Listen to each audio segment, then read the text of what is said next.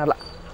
ఇప్పుడు రేవంత్ గేమ్ ఎలాగుంది? అంత అగ్రెసివ్గా తగ్గింది అనుకుంటున్నారా తగ్గిందంటే ఇంకో చెప్పనన్నా గేమ్ టైం అయిపోతుంది. ఆ?